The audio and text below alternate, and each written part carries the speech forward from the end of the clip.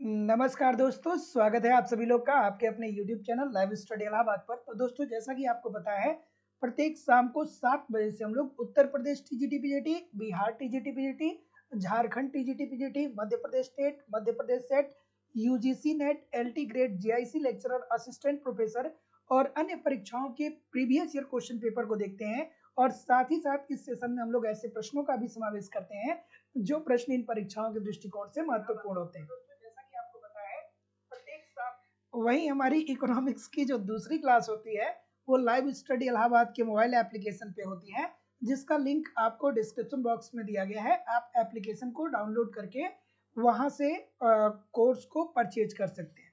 तो दोस्तों live study Allahabad के मोबाइल एप्लीकेशन पे आपको अलग अलग क्लासेस देखने को मिलेंगी अलग अलग बैच देखने को मिलेंगे और हर बैच में आपको आपके सिलेबस के अनुसार इकोनॉमिक्स के सारे कॉन्सेप्ट सिंपल सटीक और साधारण भाषा में पढ़ाए जा रहे हैं, ताकि अगर जो आपको कॉन्सेप्ट क्लियर होगा तो फिर ऑब्जेक्टिव क्वेश्चन को सॉल्व करने में बहुत सारी कठिनाइयों का सामना नहीं करना पड़ेगा। तो बिल्कुल अलग अलग बैच है, Uttar Pradesh TGT PGT Bihar TGT PGT Jharkhand TGT PGT Madhya Pradesh state Madhya Pradesh SET Uttarakhand lecturer Uttarakhand LT grade सारी सारी क्लासेस आपके लिए यहाँ पे मौजूद है। यहाँ पे आपको दोस्तों कंप्लीट इकोनॉमिक्स के कॉन्सेप्ट पढ़ाए जा रहे हैं।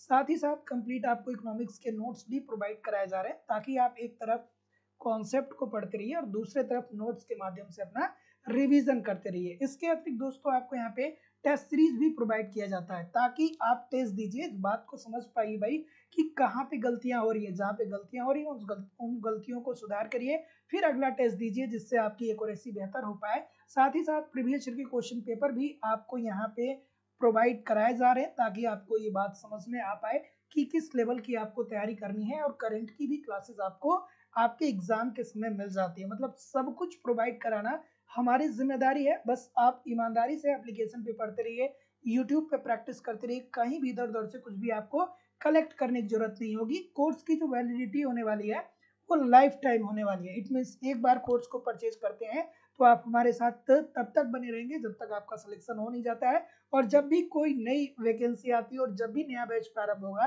तो वहाँ पे आपको ऑटोमेटिक ऐड कर दिया जाएगा। एडमिशन के लिए आप डिस्क्रिप्शन बॉक्स डिस्क्रिप्शन बॉक्स में जा जा करके एप्लीकेशन को डाउनलोड करके डायरेक्ट कोर्स परचेज कर सकते हैं। या आपकी एडमिशन की फ़ीस केवल और केवल दो हज़ार रुपये है तो आप अपनी फ़ीस इस नंबर पे पेमेंट कर सकते हैं। गूगल पे फ़ोन पे या पेटीएम के माध्यम से आपको अपनी फ़ीस इस नंबर पे पेमेंट करनी होगी और उसका स्क्रीन आपको इसी व्हाट्सएप नंबर पे सेंड करना होगा। किसी भी इंक्वायरी के लिए नीचे दिए गए नंबर पे आप कॉल कर सकते हैं या व्हाट्सएप मैसेज कर सकते हैं। और बिहार टीजीटी पीजीटी वाले जितने लोग भी हमारे साथ जुड़े हैं तीन हज़ार प्रश्नों की स्पे, स्पेशल श्रृंखला में लेकर के आपके सामने आ रहा हूँ। और वहाँ से देखिएगा बहुत सारे प्रश्न आपके पेपर में उसी तीन हज़ार प्रश्नों की श्रृंखला से आ जाएँगे और उसकी क्लास एप्लीकेशन पे ही होगी। आज मैंने कुछ क्लासेस वहाँ पे दिया है और इसी इसी तरीके से दोस्तों each and every day live classes भी वहाँ पे हो रही है और आपको वहाँ पे रिकॉर्डेड क्लास भी मिलती रहेगी। तो जो लोग भी बिहार टीजीटी पीजीटी की क्लास ज्वाइन करना चाहते हैं, वो यथाशीघ्र ज्वाइन कर सकते हैं। बिहार और उत्तर प्रदेश के लिए बिल्कुल नया बैच प्रारंभ किया गया है। तो चलिए गुड इवनिंग एवरीबॉडी अब हम लोग मूव करेंगे अपने सेशन की तरफ़ और आज का सेशन का पहला प्रश्न आपके सामने ये रहा कि सकल राष्ट्रीय आय को कुल जनसंख्या से अगर जो विभाजित कर दिया जाएगा तो हमें क्या प्राप्त होगा? तो इजी सी बात है भाई। क्यों? क्या, क्यों इजी सी बात है? क्योंकि सर, आप बहुत बार इस बात को बता चुके हैं कि प्रति व्यक्ति आय जो होता है ना, वो क्या होता है? प्रति व्यक्ति आय इज़ इक्वल टू क्या होता है? राष्ट्रीय आय अपान उस देश की जनसंख्या। राष्ट्रीय आय अपान उस देश की क्या होती है? जनसंख्या होती है। उस देश की क्या होती है? जनसंख्या होती है। तो ऑप्शन नंबर जितने लोग भी सी बोल रहे हैं, बिल्कुल ठीक बोल रहे हैं। एक प्रश्न यहाँ पे और पूछा जाता है कि अगर जो अर्थव्यवस्था में जनसंख्या में वृद्धि हो रही है तो उससे प्रति व्यक्ति आय पर क्या असर पड़ेगा? तो अगर जो जनसंख्या इंक्रीज होगा भैया तो प्रति व्यक्ति आय में क्या आ जाएगी? कमी आ जाएगी। तो जितने लोग भी सी बोल रहे हैं, सभी लोग का उत्तर एब्सोल्युटली यहाँ पे 100 परसेंट ठीक होने वाला है। अगला प्रश्न, सभी लोगों से निवेदन है कि एक बार वीडियो को लाइक और शेयर भी ज़रूर कर दिया करिए और जिन लोगों ने भी चैनल को सब्सक्राइब नहीं किया है, चैनल को सब्सक्राइब करके बेल आइकन को ज़रूर क्लिक कर दीजिए। चलिए, अगला प्रश्न आपके सामने ये रहा कि राष्ट्रीय व्यय में शामिल क्या होता है? राष्ट्रीय व्यय में क्या शामिल होता है भाई, बताइए। बिल्कुल ठीक। हम्म ऑप्शन नंबर क्या बोल रहे हैं? डी बोल रहे डी बोल रहे बिल्कुल। तो जितने भी लोग डी बोल रहे हैं कि सर उपभोग व्यय शामिल होता है, बिल्कुल ठीक है। राष्ट्रीय व्यय में क्या होता है? उपभोग व्यय भी होता है, निवेश व्यय भी होता है, जिसे जिसे हम बोलते हैं कि शिक्षा, स्वास्थ्य, परिवहन, बिजली पे गवर्नमेंट क्या करती है? इन्वेस्टमेंट करती है ताकि ये सारी चीज़ें बेहतर हो पाएँगी। तो अर्थव्यवस्था में उत्पादकता का स्तर बेहतर होगा और उत्पादकता का स्तर बेहतर होगा तो इससे राष्ट्रीय आय में वृद्धि होगी देयर इज़ नो डाउट ठीक है ना इतना? हाँ बिल्कुल ठीक है। और फिर क्या होता है भैया? राजकीय व्यय भी होता है, ठीक है? अर्थात राज्य सरकार भी क्या करती है? व्यय करती है। बहुत सारे तरीके से राज्य सरकार के भी व्यय होते हैं, ठीक है? तो जितने लोग भी डी बोल रहे हैं, उपरोक्त सभी सभी लोग का उत्तर बिल्कुल सही है, ठीक है? वास्तविक राष्ट्रीय आय में वृद्धि कब होती है? वास्तविक राष्ट्रीय आय में वृद्धि होती है जब आपके देश की जो वास्तविक राष्ट्रीय आय है, इसमें वृद्धि कब मानी जाती है? अब ये राष्ट्रीय आय का टॉपिक अभी जब बिहार टीजीटी पीजीटी की बैच में, बिहार टीजीटी पीजीटी का बैच में शुरू किया था तो वहाँ पे बहुत ही अच्छे तरीके से इन सारी चीज़ों को मैं पढ़ा दिया जो लोग भी एप्लीकेशन पे पढ़ रहे हैं, भाई आपसे गलती नहीं होनी चाहिए, क्योंकि एक बार नहीं, तीन बार, चार बार, पाँच बार, एक ही बात को मैंने एप्लीकेशन पे डिस्क्राइब किया है।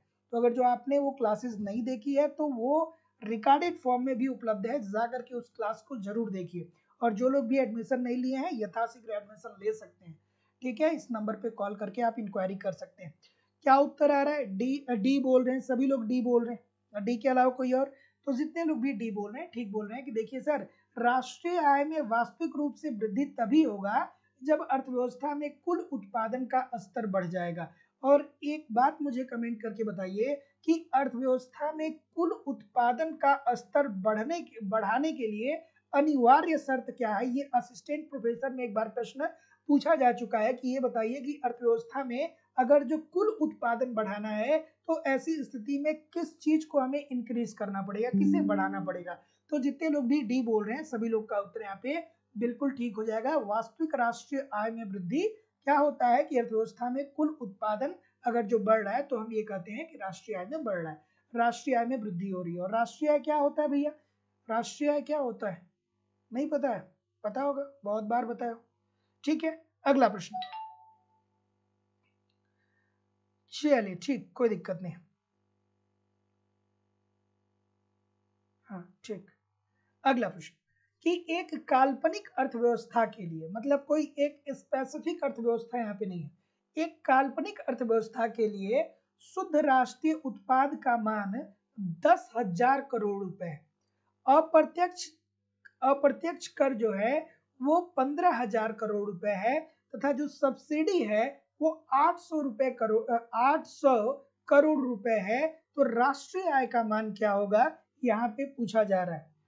ठीक है? तो भैया रट्टा मत मारो यार कि बस सर तिरानवे सौ ठीक हो जाएगा। क्योंकि कहीं पे हम प्रैक्टिस सेट किए थे और वहाँ पे ऑप्शन नंबर ऑप्शन तिरानवे सौ था तो यहाँ भी तिरानवे सौ कर देंगे। इसको सॉल्व करिए, कैसे सॉल्व होगा? सॉल्व करिए। फार्मूला बताइए। फार्मूला बताइए। फार्मूला बताइए। राष्ट्रीय आय साधन लागत पे क्या होता है? साधन लागत पर राष्ट्रीय आय की गणना हम कैसे करते हैं? कमेंट करके बताइए। तो साधन लागत पर राष्ट्रीय आय क्या होता है? शुद्ध राष्ट्रीय उत्पाद। ठीक है? साधन लागत पे बात करें तो, तो राष्ट्रीय आय क्या होता है? शुद्ध राष्ट्रीय उत्पाद। शुद्ध राष्ट्रीय उत्पाद किसे प्लस करते हैं? किसे माइनस करते हैं? कमेंट करके बताइए। शुद्ध राष्ट्रीय उत्पाद और किसको घटाते हैं? इनडायरेक्ट टैक्स को घटाते हैं। अर्थात अप्रत्यक्ष अप्रत्यक्ष कर को माइनस कर देते हैं। और जोड़ते किसे हैं? जोड़ते किसे हैं? सब्सिडी को जोड़ देते हैं। अर्थात जो उपादान होता है, उसे जोड़ देते हैं। तो क्या? कोई दिक्कत? नहीं, ठीक है।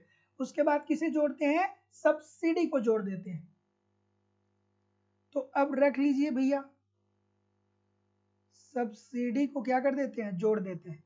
तो अब चलिए, मान रखिए। मान रखिए। तो यहाँ पे क्या दिया गया है? दस हज़ार करोड़ रुपए दिया है। शुद्ध राष्ट्रीय उत्पाद कितना दिया गया है? ये दस हज़ार करोड़ रुपए दिया गया है, ठीक है? और इनडायरेक्ट टैक्स कितना है? अप्रत्यक्ष कर कितना है? पंद्रह हज़ार करोड़। पंद्रह हज़ार करोड़ इनडायरेक्ट टैक्स है। उसके बाद सब्सिडी कितना है? सब्सिडी जो है, वो आठ सौ रुपये है। तो अब इसको जब फाइनल फाइनल इसको जब करेंगे तो कितना आ जाएगा? दस पाँच पर, ठीक है। तो ये कितना आ जाएगा? ये आ जाएगा नाइन्टी थ्री थाउज़ेंड नहीं hundred crore. Ninety three hundred crore आ जाएगा, ठीक है? हाँ ठीक। तो जितने लोग भी यहाँ पे डी बोल रहे हैं, सभी लोग का उत्तर यहाँ पे एब्सोल्युटली ठीक है।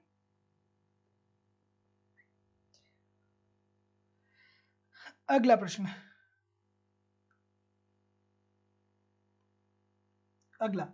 कि रा, वास्तविक राष्ट्रीय आय में निरंतर वृद्धि आर्थिक समृद्धि का द्योतक है। क्या ये बात सही है? और अगर जो ये बात सही है तो कारण दिया है कि राष्ट्रीय आय की वृद्धि आवश्यक रूप से प्रति व्यक्ति आय को नहीं दर्शाती है। बढ़िया सा प्रश्न है बताइए भाई। बिल्कुल ठीक है बिल्कुल ठीक है। चलिए क्या उत्तर आ रहा है? बी बोल रहे हैं सी बोल रहे हैं। चलिए देखते हैं देखिए। वास्तविक राष्ट्रीय आय में निरंतर वृद्धि, आर्थिक समृद्धि का द्योतक है। तो भाई, बात तो हंड्रेड परसेंट ठीक है जब हम राष्ट्रीय आय में वृद्धि की बात करते हैं तो हम कहते हैं ना कि किसी देश की, देखिए, ध्यान से समझिएगा, आर्थिक विकास का मतलब क्या हो गया कि उस देश की राष्ट्रीय आय, उस देश की प्रति व्यक्ति आय, आधारभूत संरचना और मानव कल्याण में वृद्धि होती है। लेकिन आर्थिक समृद्धि में क्या होता है? राष्ट्रीय आय प्रति व्यक्ति आय और मुख्य रूप से उस देश की टेक्नोलॉजी बेहतर होती है, क्योंकि आधारभूत संरचना ऑलरेडी विकसित देशों में होती है। तो इस वजह से विकसित देशों में आर्थिक समृद्धि देखने को मिलती है और विकासशील देशों में आर्थिक विकास देखने को मिलता है। तो क्या बोल रहे हैं सर? वास्तविक राष्ट्रीय आय में निरंतर वृद्धि, आर्थिक समृद्धि का द्योतक है। There is no doubt hundred percent ठीक है। और राष्ट्रीय आय की वृद्धि आवश्यक रूप से प्रति व्यक्ति आय को नहीं दर्शाती है। देखिए, राष्ट्रीय आय की वृद्धि आवश्यक रूप से प्रति व्यक्ति आय को नहीं दर्शाती इस बात को ध्यान से देखिए, बहुत सारे लोग गलत कर रहे हैं। इतने सारे लोग गलत कर रहे हैं। देखिए, राष्ट्रीय आय की वृद्धि आवश्यक रूप से प्रति व्यक्ति आय को नहीं दर्शाती है। क्यों? क्योंकि भैया, भारत जैसे देश में अमीरी भारत जैसे देश में अमीर और गरीब के बीच की जो खाई है, वो बहुत बड़ी है, ठीक है? और हमारे देश की प्रति व्यक्ति आय क्या होती है? प्रति व्यक्ति आय इज़ इक्वल टू राष्ट्रीय आय अपन जनसंख्या। तो राष्ट्रीय आय की वृद्धि आवश्यक रूप से प्रति व्यक्ति आय को नहीं दर्शाएगा, ठीक है?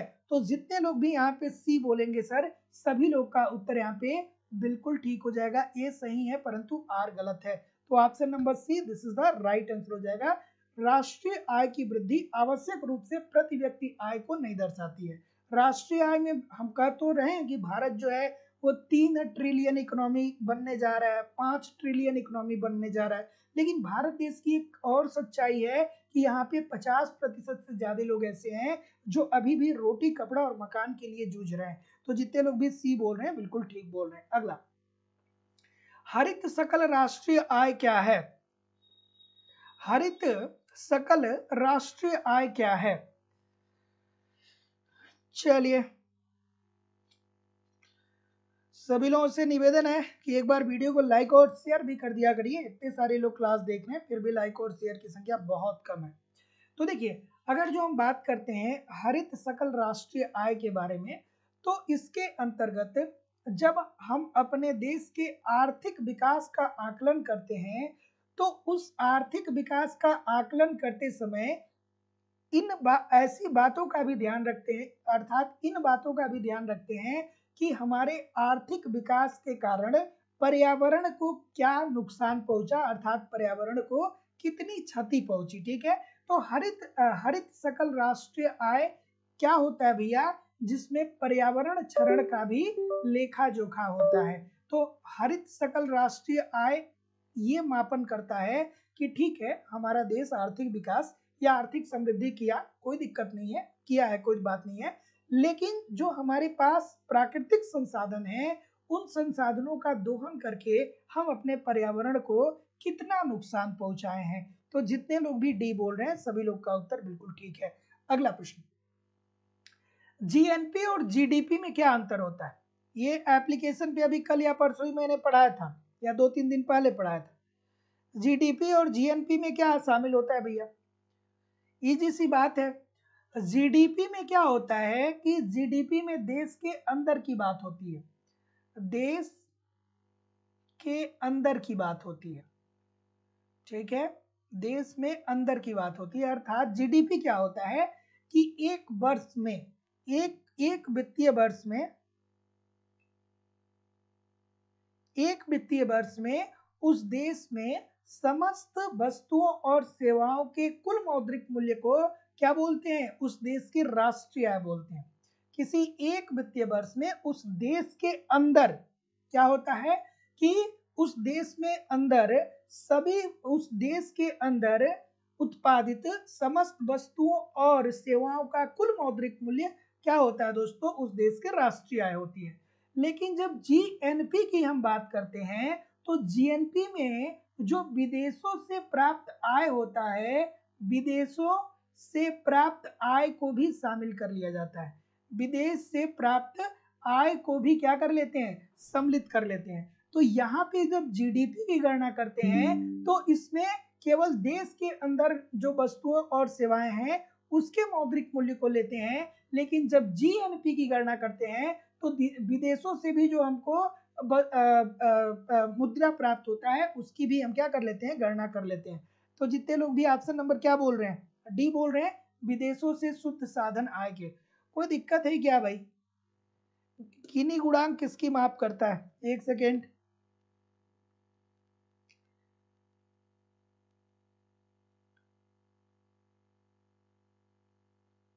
ठीक।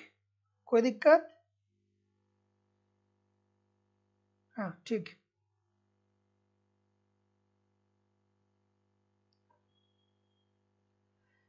गिनी गुणांक माप करता है। गिनी गुणांक किसका माप करता है भाई? चलिए। गिनी गुणांक माप करता है। ऑप्शन नंबर डी, अगेन जा रहे हैं बहुत सारे लोग। लारेंज वक्र और गिनी गुणांक आय में आय में विषमताओं को मापने का कार्य कौन करता है? गिनी गुणांक और लारेंज वक्र। तो देश में आय विषमता को मापने की दो विधियाँ हैं। पहली विधि गिनी गुणांक है और दूसरी विधि क्या है भैया? लारेंज वक्र है, ठीक है? तो जितने लोग भी ऑप्शन नंबर डी बोल रहे हैं, सभी लोग का उत्तर यहाँ पे बिल्कुल ठीक होने वाला है। अगला प्रश्न। निवेश दर 12 प्रतिशत। तथा जनसंख्या वृद्धि दर दो प्रतिशत दिए होने पर तीन अनुपात एक का पूंजी उत्पाद अनुपात द्वारा प्रति व्यक्ति आय वृद्धि दर क्या होगी? अब देखिए भैया अगर जो आप ऐसे प्रश्नों को सॉल्व करते हैं ना तो गहराई से चीज़ों को पढ़ी होनी चाहिए तभी आप इसको क्या कर पाएँगे? सॉल्व कर पाएँगे। अदरवाइज़ आपको दो घंटे भी दे दिया जाए और कह दिया जाए कि दिमाग लगा करके इसको सॉल्व कर लीजिए तो आप क्या करेंगे कि बारह में दो का भाग देंगे, तीन में एक का गुड़ा करके कुछ ऐसा सेटिंग करके और उत्तर तक पहुँचने का प्रयास करेंगे। लेकिन जिस उत्तर पे आप पहुँचेंगे, वो उत्तर हंड्रेड परसेंट गलत होने वाला है। तो ऐसी स्थिति में क्या होना चाहिए? ठीक है, कोई दिक्कत नहीं। ठीक है, कोई दिक्कत नहीं। ऑप्शन नंबर डी तीन प्रतिशत की बात सभी लोग कर रहे हैं। तीन प्रतिशत क्या ठीक है? सभी लोग तीन प्रतिशत की बात कर रहे हैं। तो growth rate is equal to क्या होता है? पहले तो हमको ये जानना है कि ग्रोथ रेट अर्थात समृद्धि की दर क्या होती है? तो निवेश दर अपान पूंजी उत्पाद अनुपात, ठीक है? निवेश दर अपान पूंजी उत्पाद अनुपात। यही होता है ना भाई? यही तो होता है ना? तो पहले हमको क्या करना है कि ग्रोथ रेट निकालना है, अर्थात समृद्धि दर को निकालना है। तो समृद्धि दर क्या हो जाता है? निवेश दर अपन पूंजी उत्पादन अनुपात ठीक है? तो यहाँ पे निवेश दर कितना दिया गया है? बारह प्रतिशत दिया गया है। निवेश दर कितना दिया गया है? बारह प्रतिशत दिया गया है। और पूंजी उत्पाद अनुपात कितना दिया गया है? ये तीन दिया गया है ना? हाँ तो बाई तीन कर देंगे। तो ग्रोथ रेट हमारा कितना निकल के आ रहा है? चार निकल के आ रहा है। अब ये पूछ रहा है, प्रति व्यक्ति आय में वृद्धि दर तो प्रति व्यक्ति आय में वृद्धि दर का फॉर्मूला क्या होता है? जितने भी डी बोल रहे सब गलत होंगे। जितने भी डी बोल रहे सब गलत होंगे। यहाँ पे आपसे समृद्धि दर की बात नहीं पूछ रहा है। यहाँ पे आपके आपसे प्रति व्यक्ति आय में वृद्धि दर की बात कर रहा है। ठीक है? तो प्रति व्यक्ति आय में वृद्धि दर क्या होता है? आर्थिक वृद्धि दर अपान जनसंख्या वृद्धि दर। तो आर्थिक वृद्धि दर अपान जनसंख्या वृद्धि दर। अपान जनसंख्या वृद्धि दर। तो बताइए, मैं ग्रोथ रेट निकाला हूँ ना, कितना आया है? चार आया है। और जनसंख्या वृद्धि दर इसमें कितना है? जनसंख्या वृद्धि दर इसमें कितना है? दो है ना? जनसंख्या वृद्धि दर कितना है? यहाँ पे है, दो तो है, ठीक है। दो प्रतिशत है तो चार बटा दो। कितना उत्तर आया भैया? कॉपी पेस्ट वाले। कितना उत्तर आया? दो प्रतिशत ना? ऐसे प्रश्न को ठीक से करिए। ये आपको सफलता और असफलता के बीच की कड़ी है। इधर सफलता है इधर सक्सेस है और बीच में ये प्रश्न है और ये फेलियर है। फे, यहाँ पे आप फेल हो जाएँगे। तो ऐसी स्थिति में अगर जो आप इस सेतु को ठीक तरीके से समझ जाएँगे इस प्रकार के प्रश्न को अगर जो आप ठीक तरीके से सॉल्व कर लेंगे तो आप कंपटीशन में हज़ारों बच्चों से आगे चले जाएँगे है ना? तो ऐसी स्थिति में मैं इसीलिए बोलता हूँ कि थोड़ा सा कापी पेन लेकर के अपने पास में रखिए। भाई, जो निरंतर प्रैक्टिस कर रहा है, मैं आपसे बता रहा हूँ कि 80 प्रतिशत प्रश्न आप सही करेंगे, ठीक है?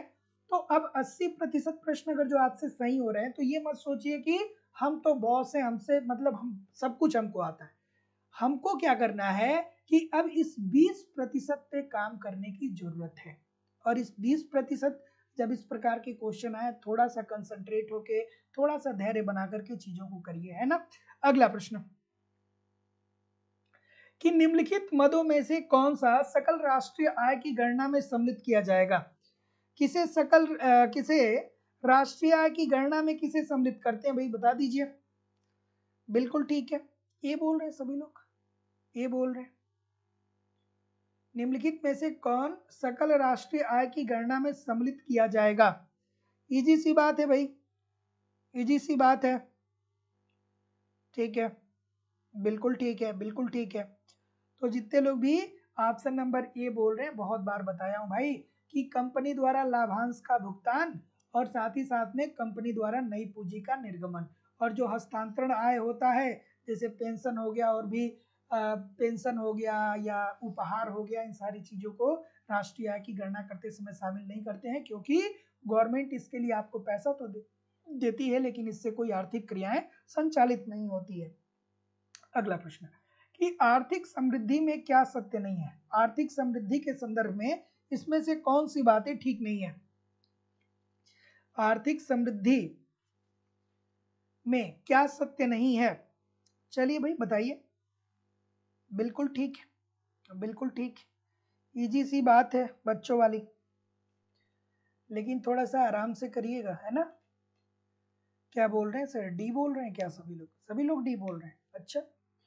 आर्थिक विकास का, आर्थिक समृद्धि का मतलब ये होता है कि हमारे देश की जो मांग है ना, हमारे देश की जितनी मांग है, उतनी पूर्ति हम अपने देश के अंदर ही कर ले रहे हैं। अर्थात हमारे देश के अंदर जो उद्योग हैं उस उद्योगों से हम लोग, हमारी अर्थव्यवस्था की जितनी डिमांड है, उसकी उसकी पूर्ति हम लोग क्या कर रहे हैं? कि अपने ही देश में जो स्थापित उद्योग हैं, उससे कर ले रहे हैं। अर्थात विदेशी व्यापार और महत्वपूर्ण हो जाता है, भैया कोई ज़रूरी नहीं है, ठीक है? ये कोई ज़रूरी नहीं हो, होता है कि आर्थिक समृद्धि में, आर्थिक समृद्धि के लिए विदेशी व्यापार महत्वपूर्ण हो। यहाँ पे क्या होता है? यहाँ पे देश आत्मनिर्भर होता है। अर्थात जो हमारी मांग है उसकी पूर्ति हम अपने ही उद्योगों के द्वारा कर लेंगे।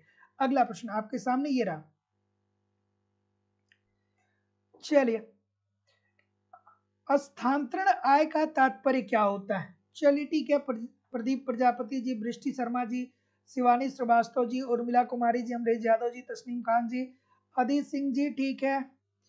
दीक्षा सिंह जी, राजकुमार प्रजापति जी, शिवानी श्रीवास्तव जी, मोहम्मद ताहिर खान जी। चलिए, बताइए भाई। क्या उत्तर आ रहा है? स्थानांतरण आय का तात्पर्य क्या होता है? तो जैसा कि मैं देख पा रहा हूँ, क्या बोल रहे हैं सर? क्या बोल रहे हैं? भाई, इतनी सारी गलतियाँ क्यों हो रही है? कितनी बार मैं आपको बताऊँ कि हस्तांतरण आय को राष्ट्रीय आय की गणना में शामिल नहीं करते हैं। इसका उदाहरण क्या होता है? जैसे एक पेंशन प्राप्त कर रहा है कोई व्यक्ति। ठीक है? कोई कर्मचारी पेंशन प्राप्त कर रहा है, कोई छात्र छात्रवृत्ति प्राप्त कर रहा है, ठीक है? और साथ ही साथ में कोई गवर्नमेंट क्या कर रही है? उपहार दे रही है, लैपटॉप बांट रही है। तो ये सारी चीज़ें हस्तांतरण आय के अंतर्गत आती हैं और इनसे कोई भी आर्थिक क्रिया नहीं हो रही अर्थात अगर जो किसी कर्मचारी को पेंशन मिल रहा है तो उसको जीवन निर्वाह के लिए गवर्नमेंट क्या कर रही है? पेंशन दे रही है। और इस पेंशन के बदले वो कर्मचारी क्या कर रहा है? भूतपूर्व कर्मचारी बोलेंगे ना उसे। तो इस पेंशन के बदले जो व्यक्ति पेंशन पा रहा है, वो क्या कर रहा है? गवर्नमेंट को कोई सेवा नहीं दे रहा। तो बिना सेवा दिए हुए अगर जो कोई आर्थिक आय मिल कोई आय प्राप्त होता है तो हम इसे क्या बोलेंगे? कि हस्तांतरण आय बोलेंगे, अर्थात जो आय आर्थिक क्रियाओं से प्रदर्शित नहीं रहती है। तो जितने लोग भी ऑप्शन नंबर सी बोल रहे हैं सर बिल्कुल ठीक बोल रहे हैं। अगला। व्यय योग्य आय बराबर होती है। देखिए दोस्तों, ध्यान से मेरी बात सुनिएगा। तीन चार चीज़ें यहाँ से आपको समझने वाली है। एक होता है दोस्तों, वास्तविक आय। वास्तविक आय। तो वास्तविक आय क्या होता है? एक होता है वास्तविक आय, दूसरा होता है आपकी मौद्रिक आय। दूसरा क्या होता है? मौद्रिक आय होता है। तीसरा क्या होता है? व्यय योग्य आय होता है। ठीक है? चलिए तो ये वास्तविक आय क्या होता है? वास्तविक आय का मतलब ये होता है कि जैसे आपने अपने बचपन में देखा होगा कि जब घर पे मजदूर आते थे तो हम लोग मजदूरों को कहते थे कि चलो आप, आज से 20 साल पहले की अगर जो बात करें या 10 साल पहले की बात करें तो मजदूरों को कहते थे ना कि चलो तुम दिन भर मजदूरी करो और तुमको मैं दो सौ रुपए दिन भर का मजदूरी और प्लस एक पुराना कपड़ा दे दूँगा। ठीक है? या दे दूँगी। ठीक है? तो ये क्या हो गया? ये हो गई उसकी वास्तविक आय। अर्थात उसे मुद्रा के रूप में कुछ दिया जा रहा है और साथ ही साथ में उसे कुछ वस्तुएँ दी जा रही हैं। या तो लोग कपड़ा दे देते थे, नहीं तो चावल दे देते थे, नहीं तो आटा दे देते थे, नहीं तो सब्ज़ियाँ दे देते थे। देते थे कि नहीं देते थे? देते थे ना? तो ये हो जाएगा उसकी वास्तविक आय। लेकिन मौद्रिक आय क्या होगी? मौद्रिक आय का मतलब है जो मुद्रा के रूप में दिया जा रहा है। अर्थात इसकी वास्तविक आय दो सौ रुपए और एक कपड़ा हो जाएगा, लेकिन इसकी मौद्रिक आय जो होगी, वो क्या हो जाएगी? दो सौ रुपए हो जाएगी। क्योंकि इसके हाथ में क्या हो रहा है? दो सौ रुपये मिल रहा है। और अब ये व्यय योग्य आय क्या हो जाएगा भाई? तो व्यय योग्य आय आप कहेंगे कि सर जी, जो व्यक्तिगत आय है ना, उसमें से व्यक्तिगत प्रत्यक्ष कर को माइनस कर दीजिए। अर्थात आप दो सौ रुपया मान लीजिए कि गवर्नमेंट आपको सैलरी दे रही है और दो सौ रुपये में से गवर्नमेंट आपसे दस रुपये टैक्स ले ले रही है, ठीक है? डायरेक्ट टैक्स ले ले रही है। तो अब आपकी व्यय योग्य आय कितनी होगी? एक सौ नब्बे रुपये हो जाएगी। तो ये तीन चार टर्म है दोस्तों, जो बार बार आपके पेपर में पूछे जाते हैं। अगला प्रश्न। राष्ट्रीय लाभांश किसी समाज के आय का वह भाग है जिसे मुद्रा द्वारा मापा जा सके, ये किसकी परिभाषा है? ठीक है? चलिए।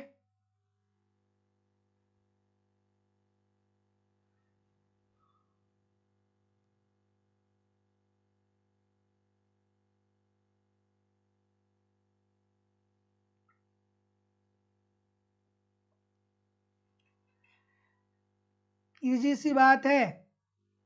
किसने बोला स्टेटमेंट? किसने दिया? कि राष्ट्रीय आय की गणना करते समय, राष्ट्रीय आय में हमें उन्हीं वस्तुओं और सेवाओं को शामिल करना चाहिए, जिसका मौद्रिक माप संभव है। अर्थात राष्ट्रीय आय की जब हम गणना करेंगे तो उसमें केवल और केवल उन्हीं वस्तुओं और सेवाओं को शामिल करेंगे, जिसको मुद्रा रूपी पैमाने में मापा जा सकता है। अब जैसे सोच है, आप कुछ सोच रहे हैं तो आपके सोच को मुद्रा रूपी पैमाने में नहीं मापा जा सकता है। ठीक है, आप कह रहे हैं कि आपको थकान हुई है तो थकान को हम मुद्रा में नहीं माप सकते हैं। माप सकते हैं क्या? नहीं माप सकते हैं।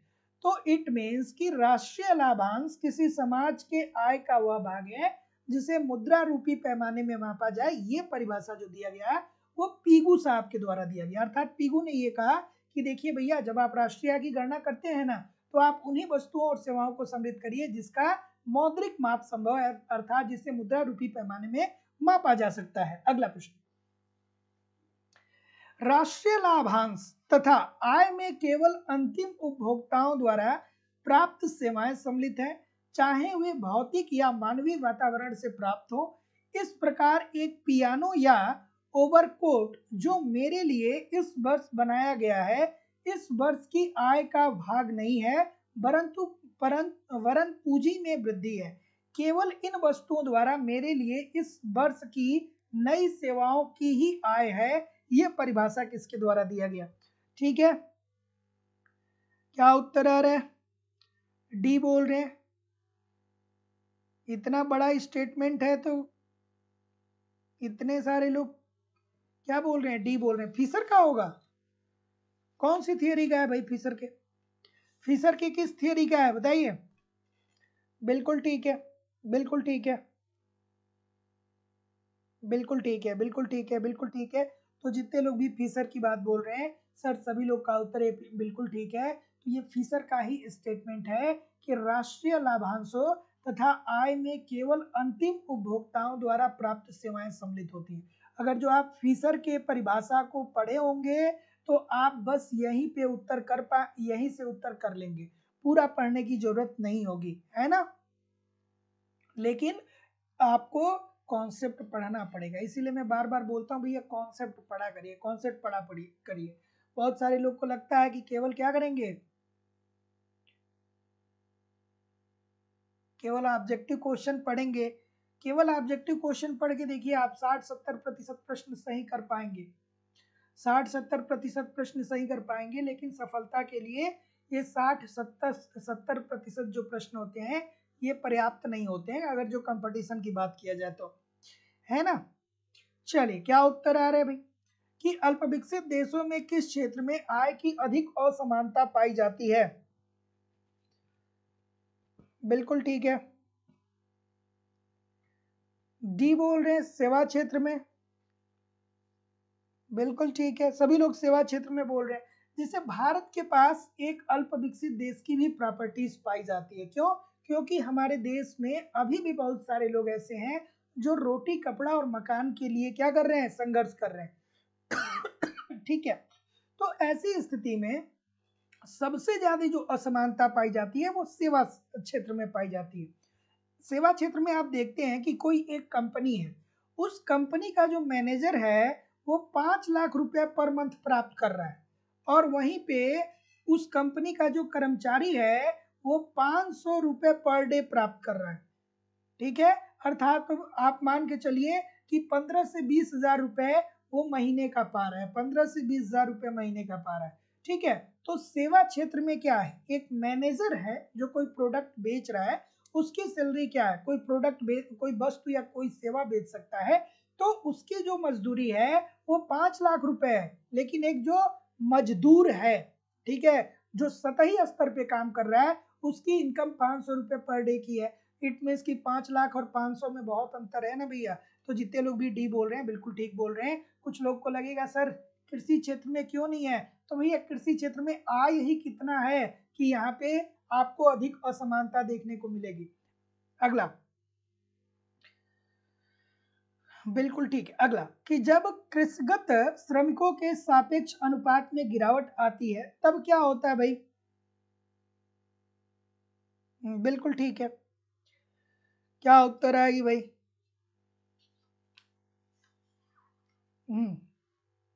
ऑप्शन हम्म, नंबर ठीक है।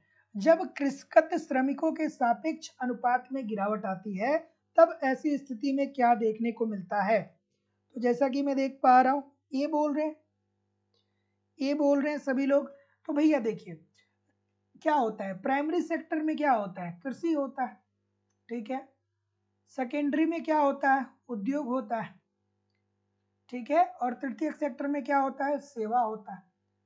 तो अब आप वर्तमान समय में देख रहे हैं कि भारत एक गाँव, भारत क्या है?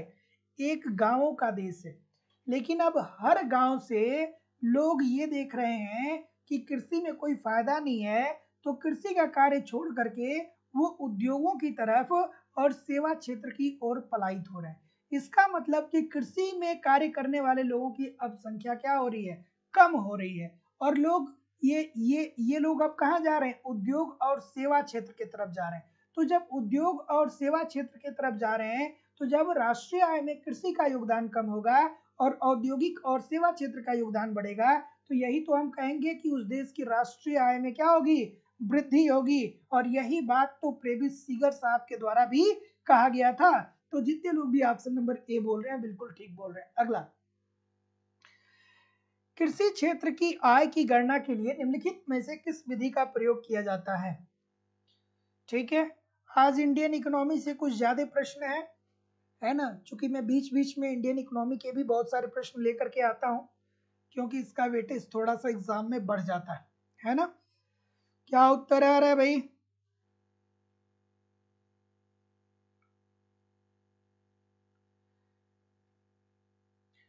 कृषि क्षेत्र की आय की गणना के लिए निम्नलिखित किस विधि का प्रयोग किया जाता है?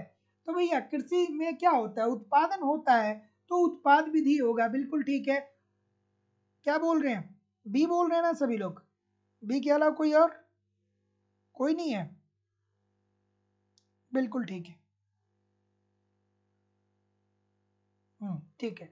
तो कृषि क्षेत्र की आय की गणना के लिए किस विधि का प्रयोग किया जाता है? तो भैया उत्पादन विधि, जिसके अंतर्गत ये देखा जाता है कि कृषि में उत्पादकता का स्तर क्या है।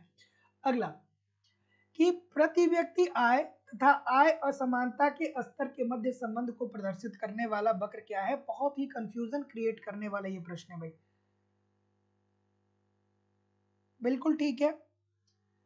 बहुत ही ज़्यादा कंफ्यूजन क्रिएट करने वाला ये प्रश्न है।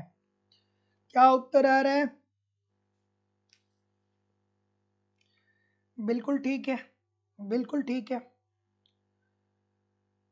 बाकी बिहारी जी कह रहे हैं, सर, तिरानवे सौ का आंसर गलत देख लीजिएगा, कुछ मिसप्रिंट हो सकता है, हो, है ना? वो वहाँ पे मुझे लग रहा है कि दस करोड़ के जगह पे दस लाख देना चाहिए था उसे, है ना? तो कुछ मिसप्रिंट होगा, देख लीजिएगा। क्या उत्तर आ रहा है भाई? बी बोल रहे सभी लोग बी बोल रहे हैं, कुछ नेटस बक्र, और कोई, कुछ नेटस बक्र के अलावा कोई नहीं है। बिल्कुल ठीक है। बिल्कुल ठीक है। हम्म तो ये क्या है भैया? साइमन कुजनेटस साहब ने कुजनेटस बक्र दिया था। और क्या बताया था? ये बताया था कि जब देश आर्थिक विकास करता है, जब देश क्या करता है? आर्थिक विकास करता है तो ऐसी स्थिति में पहले जो उच्च वर्ग होता है, ठीक है? अर्थात जो अमीर वर्ग होता है, अमीर वर्ग जो होता है, उसको आर्थिक विकास से सबसे पहले लाभ अमीर वर्ग को मिलता है। लेकिन दीर्घ काल में ये क्या होता है? आर्थिक विकास का लाभ जो होता है, वो समान रूप से अर्थव्यवस्था में बढ़ जाता है। अर्थात दीर्घ काल में गरीबों के पास भी क्या होता है? इस आर्थिक विकास का असर पहुँचता है। तो जितने भी लोग डी बी बोल रहे हैं, सभी लोग का उत्तर यहाँ पे बिल्कुल सही है। अगला अगला प्रश्न। सरकार द्वारा की सरकार द्वारा की गई अंतरण अदायगी, अर्थात निवल नेट घरेलू उत्पाद में शामिल नहीं होता है क्योंकि बहुत बार ये प्रश्न पूछा गया है आपके पेपर में। और दोस्तों लाइव स्टडी इलाहाबाद के मोबाइल एप्लीकेशन पे आपकी इकोनॉमिक्स की दूसरी क्लास हो रही है, जहाँ पे हम लोग इकोनॉमिक्स के कंप्लीट कॉन्सेप्ट को सिंपल सटीक और साधारण भाषा में पढ़ रहे हैं। साथ ही साथ मतलब वहाँ पे आपको दोपहर में लाइव क्लास होती है थियरी की। इन केस अगर जो लाइव नहीं जुड़ पाते हैं तो बाद में आपको रिकॉर्डेड क्लास भी मिल जाता है। इसके अतिरिक्त आपको वहाँ पे कंप्लीट नोट्स भी दिया जा रहा है, ताकि नोट्स के माध्यम से आप अपना रिविजन करें। टेस्ट सीरीज़ दिया जा रहा है। टेस्ट दीजिए, जहाँ पे गलती हो रही है, उस गलतियों को सुधारिए, फिर अगला टेस्ट दीजिए, जिससे आपकी एक्यूरेसी बेहतर हो पाए। इसके अतिरिक्त आपको प्रीवियस ईयर के क्वेश्चन पेपर और करेक्ट सब कुछ प्रोवाइड किया जा रहा है एक रणनीति के तहत अगर जो आप एप्लीकेशन पे इन सारे कंटेंट को फॉलो करते हैं यूट्यूब पे प्रैक्टिस करते हैं तो बहुत ही कम समय में बेहतर ढंग से आप इकोनॉमिक्स को समझ सकते हैं, सीख सकते हैं। एडमिशन लेने के लिए आपको डिस्क्रिप्शन बॉक्स में जाकर के एप्लीकेशन डाउनलोड करके डायरेक्ट कोर्स परचेज कर सकते हैं। यहाँ दो हज़ार रुपये फ़ीस है लाइफ टाइम की वैलिडिटी के साथ। इट मीन्स आगामी कोई भी परीक्षा आती है जब भी नया बैच प्रारंभ होगा आपको वहाँ पे ऑटोमेटिक ऐड कर दिया जाएगा। आपको अपनी फ़ीस इस नंबर पे पेमेंट करनी होगी। गूगल पे फ़ोन पे या पेटीएम के माध्यम से अपनी फ़ीस इस नंबर पे पेमेंट करेंगे और इसका स्क्रीन आपको इसी व्हाट्सएप नंबर पे सेंड करना होगा। किसी भी इंक्वायरी के लिए नीचे दिए गए नंबर पे कॉल या व्हाट्सएप मैसेज कर सकते हैं। तो चलिए देखते हैं। सरकार द्वारा की गई अंतरण अदायगी अर्थात सरकार द्वारा की गई अंतरण अदायगी निवल अर्थात नेट घरेलू उत्पाद में शामिल नहीं किया जाता है। क्यों नहीं शामिल किया जाता है? क्योंकि इन राशियों की अदायगी के बदले किन्हीं वस्तुओं और सेवाओं के तदनुरूप उत्पादन नहीं होता है। जैसा कि मैंने आपको अभी पेंशन छात्रवृत्ति का उदाहरण देकर के बताया। पेंशन और छात्रवृत्ति का उदाहरण दे के बताया कि भैया क्या होता है? यहाँ पे गवर्नमेंट क्या कर रही है? जो आपको अदायगी कर रही है, जो पैसा आपको गवर्नमेंट दे रही है, उस उस पैसे के बदले आप कोई सेवा नहीं दे रहे। तो इन राशियों की अदायगी के बदले किन्हीं वस्तुओं और सेवाओं के तदनुरूप उत्पादन नहीं होता है। तो जितने लोग भी डी बोल रहे हैं, सभी लोग का उत्तर यहाँ पे बिल्कुल ठीक हो जाएगा। अगला, कृषि श्रम मूल्य सूचकांक का उपयोग औस्फितिकारी के रूप में करने का सुझाव देने वाला निर्धनता अध्ययन किसने किया है? थोड़ा आराम से सर। ठीक है, कोई दिक्कत नहीं है। क्या उत्तर आ रहा है? बिल्कुल ठीक है। बी बी बोल रहे ओ, या डी? बी या सी? क्या उत्तर आ रहा है भाई? हम्म। बहुत कम लाइक है यार, इतने सारे लोग क्लास देख रहे हैं, फिर भी लाइक और शेयर की संख्या इतनी कम क्यों है भाई? सभी लोगों से निवेदन है कि वीडियो को थोड़ा सा लाइक कर दीजिए और शेयर कर दीजिए। आप लाइक नहीं करेंगे शेयर नहीं करेंगे, फिर कौन करेगा भाई? क्लास आपकी है तो ज़िम्मेदारी भी आपकी ही बनती है, ठीक है? चलिए, ठीक है। सभी लोग एक बार लाइक कर दीजिए, ठीक है? पुर सिंह जी राजकुमार प्रजापति जी, मोहम्मद ताहिर जी, ठीक है? जितेंद्र जी, सदानंद जी, सपना सोनी जी, कुणाल कुमार जी एंजल जी अदित सिंह जी, लाल बहादुर जी, तस्नीम जी, ठीक है। सतीश कुमार गुप्ता जी, ठीक है। क्या उत्तर आ रहा है भाई? ये बोल रहे हैं, पी के वर्धन की अगर जो बात कर रहे हैं, सर तो आप बहुत अच्छा कर रहे हैं, बहुत बढ़िया बोल रहे हैं कि देखिए सर, कृषि श्रम मूल्य सूचकांक का उपयोग औस्फिति का, औस्फितिक कारक के रूप में करने का सुझाव जो दिया गया था, वो पीके वर्धन के द्वारा दिया गया था। सॉरी तो जितने लोग भी क्या बोल रहे हैं पीके वर्धन ही बोल रहे हैं ना सभी लोग? पीके वर्धन ही बोल रहे हैं ना सभी लोग। ठीक है? हम्म। तो जितने लोग भी पीके वर्धन की बात बोल रहे हैं, सभी लोग का उत्तर बिल्कुल सही है। अगला प्रश्न। भारत में भूमि सुधारों का मुख्य उद्देश्य क्या है? बिल्कुल ठीक है।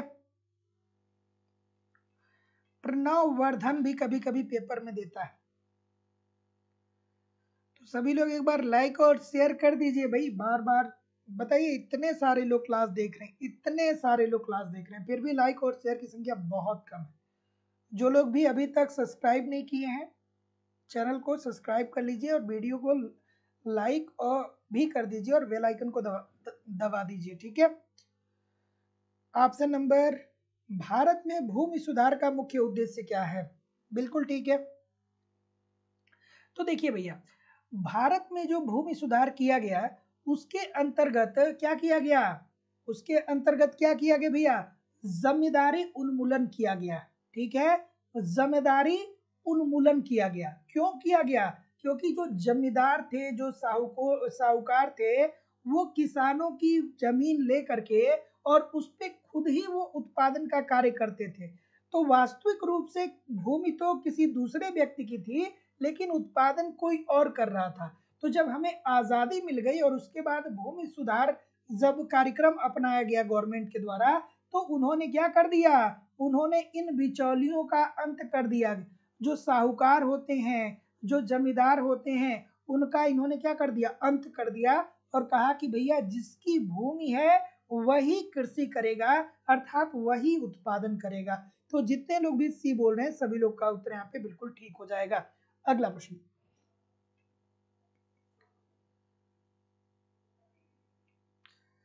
चलिए, रीता कश्यप जी, उम्मीद है कि आप अपना भी ख्याल रखिए, बच्ची का भी ख्याल रखिए, बेटी का भी ख्याल रखिए और हम सभी लोग यही प्रे करते हैं कि जल्दी वो स्वस्थ हो जाए, खुश हो जाए, है ना? चलिए बिल्कुल ठीक।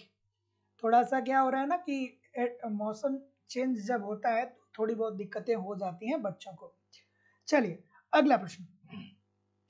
अगला प्रश्न, कि भारत में कृषि उत्पादकता बढ़ने के लिए इनमें से किसकी आवश्यकता नहीं है? अगर तो भारत में कृषि में उत्पादकता बढ़ानी है तो क्या एक ज़रूरी चीज़ नहीं है?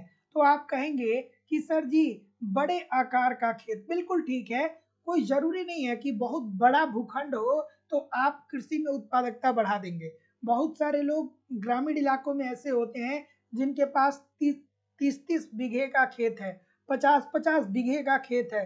तो ऐसी स्थिति में बड़े बड़े पैमाने पे भूमि होने के बावजूद भी वो अपने उत्पादकता के स्तर को नहीं बढ़ा पाते हैं। ठीक है? और वही देखिए, अगर जो आसाम की बात करें, कर्नाटका की बात करें तो वहाँ पे बड़े भूखंड नहीं है, लेकिन फिर भी वहाँ पे गहन खेती की जाती है और उत्पादकता का स्तर बेहतर होता है। तो जितने लोग भी ऑप्शन नंबर ए बोल रहे हैं, ठीक बोल रहे हैं। अगला।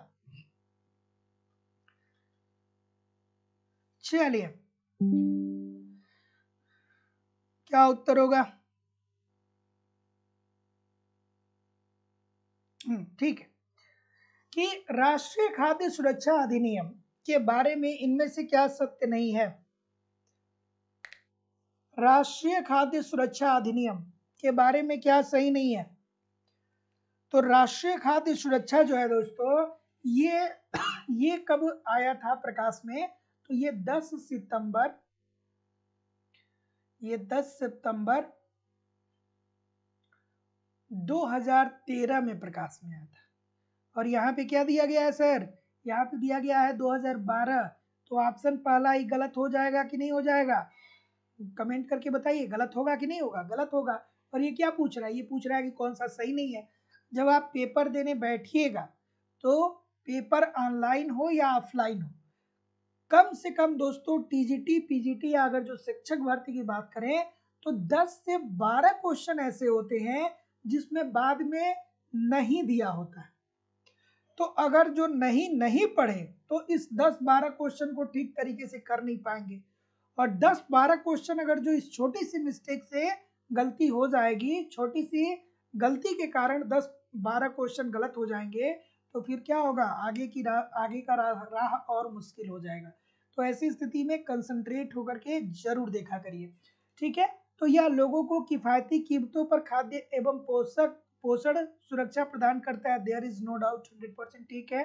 ये ग्रामीण जनसंख्या के 75 प्रतिशत भाग को और शहरी जनसंख्या के 50 प्रतिशत तक भाग को कवर करता है। बात ये भी ठीक है। और इस अधिनियम में, में गर्भवती महिलाओं, स्तनपान करा रही माताओं और बच्चों को पोषण संबंधी सहयोग देने पर विशेष ध्यान दिया गया। तो जितने लोग भी ऑप्शन नंबर ए बोल रहे हैं, बिल्कुल ठीक बोल रहे हैं। अगला। अगला प्रश्न। राष्ट्रीय खाद्य सुरक्षा कानून अधिग्रहण करता है। राष्ट्रीय खाद्य सुरक्षा कानून, ये कब पास हुआ भाई? भाई देखिए, किसी को भी कोई समस्या है आप मुझे डायरेक्ट इस नंबर पे कॉल कर लिया करिए, है ना? जब मैं क्लास लेता हूँ तो बीच में आप कमेंट कर रहे हैं, नीतू कश्यप जी का रिसर्च टेस्ट नहीं मिल रहा है। जहाँ पे एप्लीकेशन पे वीडियो वाला सेक्शन है, उसी के जस्ट बगल में टेस्ट वाला भी सेक्शन है। है ना? तो मैं, ये ये ये फ़ोन नंबर आपको क्यों दिया गया है? ये फ़ोन नंबर आपको क्यों दिया गया है? आप कॉल करेंगे तो मैं ही आपका कॉल रिसीव करूँगा। और मैं कोई असिस्टेंट नहीं रखा हूँ फ़ोन रिसीव करने के लिए। आपकी कोई भी समस्या, किसी की भी कोई समस्या है, वो इस नंबर पे कॉल कर सकता है और जो एक बार एडमिशन लिया है, वो लाइव क्लास चल रही है, आपको एक रुपए भी फ़ीस जमा करने की ज़रूरत नहीं है। आप लाइव क्लास आइए और पढ़िए। रोज पढ़िए एप्लीकेशन पे क्लास रोज होती है, ठीक है, तब तक पढ़िए जब तक सिलेक्शन ना हो जाए। तो जो एक बार एडमिशन आज से छः महीने पहले या तीन महीने पहले या चार महीने पहले कभी भी वो लिया है, वो आके एप्लीकेशन पे पढ़ सकता है। और अगर जो आपको लाइव क्लास की नोटिफिकेशन नहीं मिल रही है तो आप मेरे इस नंबर पे मैसेज कर दीजिए और अपना बैच का नाम लिख दीजिए और अपना अपना एप्लीकेशन का लॉगिन नंबर लिख दीजिए। ठीक है? चलिए, अगला प्रश्न आपके सामने ये रहा। राष्ट्रीय खाद्य सुरक्षा कानून, ये कब आया था भैया? ये कब आया था? ये अधिनियम आया था 2013 में। राष्ट्रीय खाद्य सुरक्षा अधिनियम भी कभी कभी पूछा जाता है। तो राष्ट्रीय खाद्य सुरक्षा अधिनियम कब आया था? तो ये 2013 में आया था और ये अधिनियम पारित कब हो गया? तो ये पारित हुआ भैया 12 सितंबर, कब पारित हुआ? 12 सितंबर 2013 को ही ये पारित भी हो गया, ठीक है? तो इस बात को ध्यान में रखिएगा। तो जैसा कि मैं देख पा रहा हूँ, क्या उत्तर आ रहा है? सी बोल रहे हैं कि देखिए सर, पचहत्तर प्रतिशत ग्रामीण जनसंख्या को तो जितने लोग भी सी बोल रहे हैं, बिल्कुल ठीक बोल रहे हैं। तो राष्ट्रीय खाद्य सुरक्षा कानून जो है, वो कब प्रकाश में आता है? 12 सितंबर 2013 में। और इसका जो लक्ष्य था, वो किससे संबंधित है? पचहत्तर प्रतिशत ग्रामीण जनसंख्या को खाद्यान्न सुरक्षा उपलब्ध कराना। तो जितने लोग भी ऑप्शन नंबर सी बोल रहे हैं, सभी लोग का उत्तर यहाँ पे बिल्कुल ठीक हो जाएगा। इसके अंतर्गत क्या रखा गया कि लाभ जो प्राप्त कर रहा है, उसको क्या किया जाए? पाँच किलो चावल दिया जाए और फिर गेहूँ तीन किलो दिया जाए। मोटे अनाज जो है, वो दो किलो दिया जाए और साथ ही साथ में क्या किया जाए? हाँ मोटे अनाज दो किलो दिया जाए। चलिए, आगे बढ़ते हैं। ठीक है, अगला प्रश्न। चलिए कि निम्नलिखित फ़सल बीमा योजना को उसके शुरू किए जाने का काल क्रमानुसार व्यवस्थित कीजिए। देखिए दोस्तों, ऐसा प्रश्न आपके पेपर में बार बार पूछा जाता है, लेकिन बहुत सारे लोग ऐसी गलती करते हैं कि ऐसे प्रश्नों की वो प्रैक्टिस करते ही नहीं।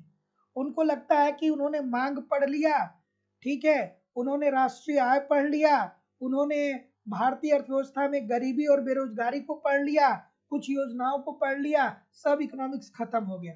ये सारी चीज़ें जैसे आपके सामने दिख रही है, ये सारे एग्ज़ाम में आए हुए प्रश्न है।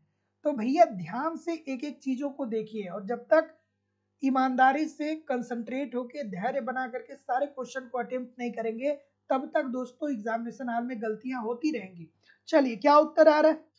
तो और मैं आपको ज़िम्मेदारी से कह सकता हूँ कि अगर जो इस प्लेटफॉर्म को आप चुन, चुने हैं ना तो आप किसी भी स्टेट का पेपर दे के आइएगा, अगर जो आपका इकोनॉमिक सब्जेक्ट है, कोई पचास क्लास हमारी अगर जो ठीक से कर लेंगे तो आपको नब्बे प्रतिशत से ज़्यादा प्रश्न आपके पेपर में यहीं से मिल जाएँगे। बसरते आप हमारे साथ निरंतर जुड़े रहिए। हम, मैं मॉडरेट लेवल का इजी लेवल का और कठिन, ये तीनों लेवल मेंटेन करके चलता हूँ। चलिए, क्या उत्तर आ रहा है भाई? तो व्यापक फ़सल योजना, ये कब प्रकाश में आया? ये आया 1985 में। व्यापक फ़सल योजना 1985 में आया। राष्ट्रीय कृषि बीमा योजना की बात करें तो ये वित्तीय वर्ष 1999 2000 में ये प्रकाश में आता है। और संशोधित राष्ट्रीय कृषि बीमा योजना की बात करें तो ये आता है दोस्तों 2010 2010 2011 में आता है। और प्रधानमंत्री फ़सल बीमा योजना की बात करें तो ये वर्तमान समय के जो प्रधानमंत्री हैं, नरेंद्र मोदी जी, इन्होंने शुरुआत कराई थी 2016 में। तो क्या उत्तर आ रहा है भाई? तो जितने लोग भी एक, दो, तीन, चार बोल रहे हैं, सभी लोग का उत्तर बिल्कुल ठीक है। A this is the right answer हो जाएगा। अगला। निम्नलिखित कथनों पे विचार करिए और ये बता दीजिए कि भारत की न्यूनतम समर्थन मूल्य अर्थात एमएसपी नीति केवल गेहूँ, धान और मोटे अनाज को शामिल करता है। क्या ये बात सही है? और दूसरा दिया गया है कि ग्रेड ए धान का न्यूनतम समर्थन मूल्य एमएसपी सामान्य धान के न्यूनतम समर्थन मूल्य से सदा ही अधिक होता है। थोड़ा आराम से करिएगा इस प्रश्न को। ठीक है? थोड़ा आराम से इस प्रश्न को करिएगा।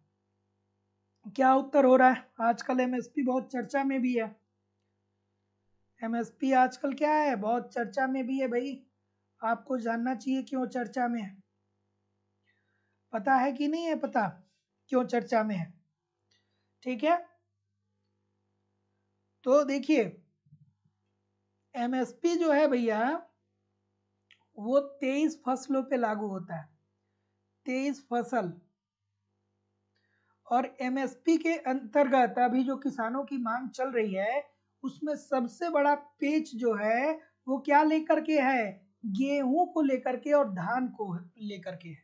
ठीक है? क्योंकि किसान ये चाहते हैं कि भारत में बड़े पैमाने पे अगर जो अन्य फ़सलों की बात करें तो सबसे ज़्यादा उत्पादन गेहूँ और धान का होता है। तो जो वर्तमान में हमारे किसान प्रोटेस्ट कर रहे हैं, वो इसलिए कर रहे हैं कि गवर्नमेंट न्यूनतम समर्थन मूल्य के लिए कहा तो दिया है कि हम इतना न्यूनतम समर्थन मूल्य लेंगे।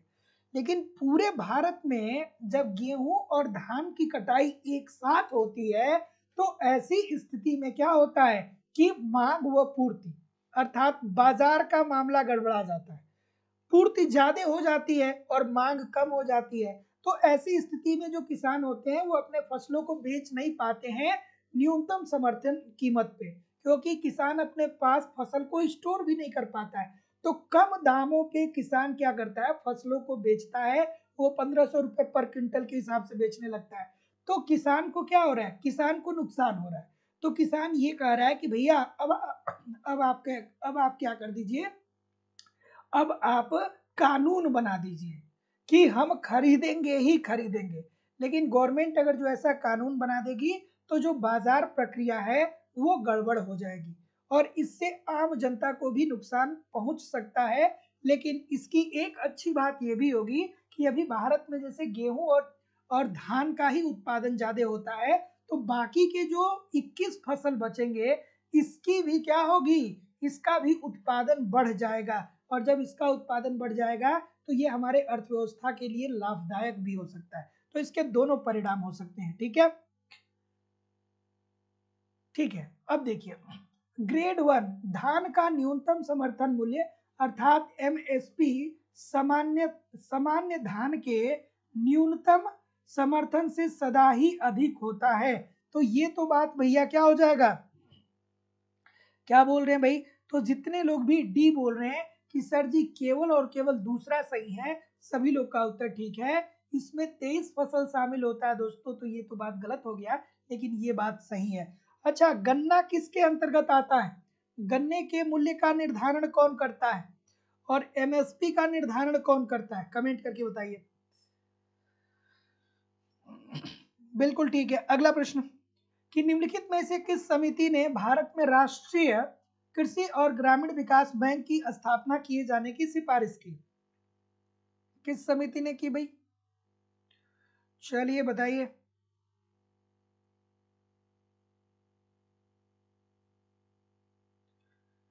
क्या उत्तर आ रहा है? तो जैसा कि मैं देख पा रहा हूँ,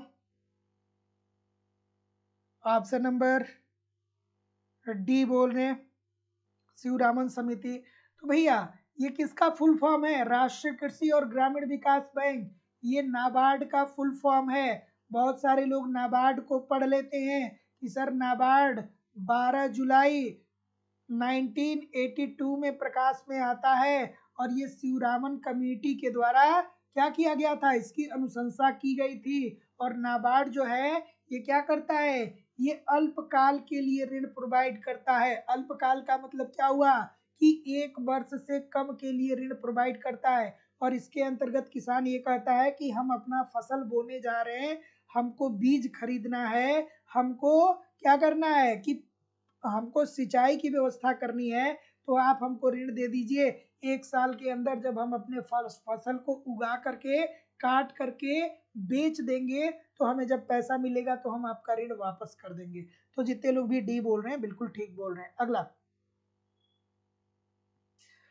कि भारतीय कृषि में अभी भी श्रमिकों के एक बड़े भाग का उपयोग होता है। क्या ये बात सही है? और दूसरी बात है कि कृषि क्षेत्र में रोज़गार लोच उच्च है। अच्छा सा, खूबसूरत। ठीक है। क्या बोल रहे हैं? थोड़ा सा वीडियो को लाइक और शेयर भी कर दिया करिए। सभी लोगों से निवेदन है कि आप वीडियो को थोड़ा लाइक करिया, किया करिए। और शेयर भी कर दिया करिए। आप लाइक नहीं करेंगे शेयर नहीं करेंगे तो फिर कौन लाइक करेगा? कौन शेयर करेगा? तो निवेदन है आपसे कि वीडियो को लाइक किया करिए और शेयर भी ज़रूर किया करिए। ठीक है? अगला प्रश्न सर बता दीजिए। सी बोल रहे हैं, सभी लोग बहुत अच्छा बोल रहे हैं। सी वाले कितने हैं? सब हैं सी वाले। बिल्कुल ठीक है। बिल्कुल ठीक है। बिल्कुल। तो भैया, जैसा कि आपको पता है कि भारत भारतीय कृषि में, भारतीय कृषि में अभी भी श्रमिक, श्रमिकों के एक बड़े भूभाग का उपयोग होता है। तो दोस्तों, भारत जो है, वो क्या है? एक गाँवों का देश है। और वर्तमान समय की भी अगर जो हम बात करें तो लगभग लगभग कुल जनसंख्या के 45 प्रतिशत लोग कृषि में लगे हुए हैं। कुल जनसंख्या के 45 प्रतिशत लोग ऐसे हैं जो कृषि में लगे हुए हैं। तो ये बात तो बिल्कुल ठीक है। कृषि क्षेत्र में रोज़गार लोच उच्च है, नहीं उच्च नहीं है, निम्न है। क्यों? क्योंकि कृषि क्षेत्र में क्या पाई जाती है? छिपी हुई बेरोजगारी पाई जाती है, प्रच्छन्न बेरोजगारी पाई जाती है। अर्थात ये जितने 45 प्रतिशत लोग लगे हैं, सभी लोग वास्तविक रूप से पैसा नहीं कमा रहे। बहुत सारे लोग तो ऐसे हैं कि जिनका उत्पादन में लगे रहने और ना लगे रहने से कोई मतलब नहीं है। वो उत्पादन में लगे हैं या उत्पादन छोड़ भी देंगे तो उत्पादकता पे कोई असर नहीं पड़ेगा। तो जितने लोग भी सी बोल रहे हैं कि ए सही है किंतु आर सही नहीं है सभी लोग का उत्तर बिल्कुल ठीक हो जाएगा। प्रचंड बेरोजगारी क्या होती है? प्रचंड देखिए पैतालीस प्रतिशत में बोला हूँ ये फ्लक्चुएट होता रहता है ठीक है? ये पैतालीस ठीक है? सैतालीस कभी कभी अड़तालीस उनचास भी हो सकता है ठीक है? तो ये ये आ, ये बात ध्यान से समझिएगा। और प्रच्छन्न बेरोजगारी क्या होती है कि जैसे मान लीजिए बार बार बोलता हूँ, फिर बोल दे रहा हूँ कि अगर जो कोई दो एकड़ की भूमि है तो एक व्यक्ति है जिसका नाम है रोहन। रोहन दो एकड़ भूमि पे, क्या दो एकड़ भूमि पे पाँच क्विंटल क्या कर रहा है? गेहूँ का उत्पादन कर रहा है। अब रोहन के क्या हो गए? दो बच्चे हो गए। एक का नाम हो गया मोहन और दूसरे का नाम हो गया सोहन। अब मोहन सोहन को नौकरी मिली नहीं तो मोहन सोहन क्या किए? अपने पिता के साथ खेती करना प्रारंभ कर दिए। लेकिन अब तीन लोग भी मिल करके दो दो एकड़ भूमि पे पाँच क्विंटल से ज़्यादा उत्पादन नहीं कर पाएँगे। क्यों नहीं कर पाएँगे? क्योंकि भूमि की उर्वरा शक्ति क्या होती है? सीमित होती है। ठीक है, ऐसा नहीं कि आप हज़ार लोग लगा देंगे और उसी के मल्टीप्लाई में उत्पादकता बढ़ जाएगी। ऐसा नहीं होता। इट मीन्स कि मोहन और सोहन जो हैं, ये उत्पादन में लगे तो हैं, लेकिन इनके उत्पादन में लगे रहने और ना लगे रहने से क्या हो रहा है?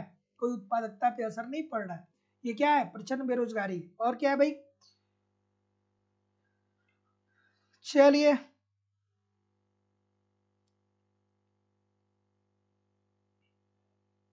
अरे लोग मतलब व्यक्ति होता है। कौन पूछ रहा है कि लोग का मतलब क्या होता है? लोगों की संख्या नहीं पढ़े रीजनिंग नहीं पढ़े क्या? रीजनिंग नहीं पढ़े क्या कभी? हम्म? रीजनिंग पढ़िए। शोले पिक्चर नहीं देखे? कितने लोग थे? कई बार डायलॉग बोला गया उसमें? हम्म? थोड़ा पिक्चर भी देखा करिए, ज़रूरी है जीवन के लिए। है ना? कभी कभार इंटरेस्ट हो तो एक आध मूवी देख लिया करिए, जिससे ज़िंदगी को समझने में और ज़िंदगी को जीने में आसानी मिलेगी। आपको ये बात पता चलेगा कि ज़िंदगी के किस पड़ाव पे आप हैं, है ना? तो कभी कभी अगर जो इंटरेस्ट हो तो देख लिया करिए। ज़रूरी होता है। होता है ना, मनुष्य का सर्वांगीण विकास के लिए ये सारी चीज़ें ज़रूरी है। अगला प्रश्न। कि भारत में औसत भू, भारत में औसत भू जोत के सतत घटते आकार निम्नलिखित कारणों के किस कारण से हो रहा है? अर्थात भा, भारत में क्या हो रहा है कि भूमि की जोत जो है वो क्या होती जा रही घटती जा रही है। बिल्कुल ठीक है। ठीक है?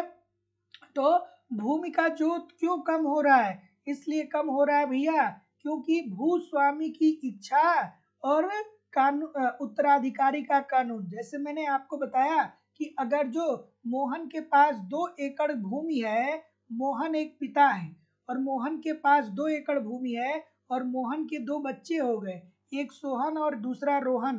तो जब मोहन की मृत्यु हो जाएगी तो अमूमन समाज में क्या देखने को मिल रहा है? यही तो देखने को मिल रहा है कि परिवार क्या हो जा रहा है? विखंडित हो जा रहा है।